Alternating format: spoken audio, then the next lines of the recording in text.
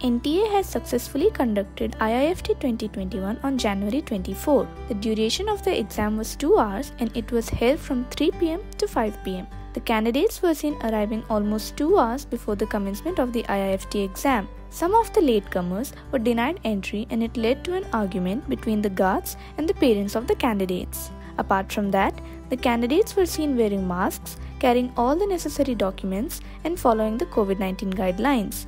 In this video by Careers 360, we will show you the exam day pictures of IIFT 2021. Subscribe to our YouTube channel, follow us on Facebook, Twitter, Instagram, and visit Careers 360 website for more details.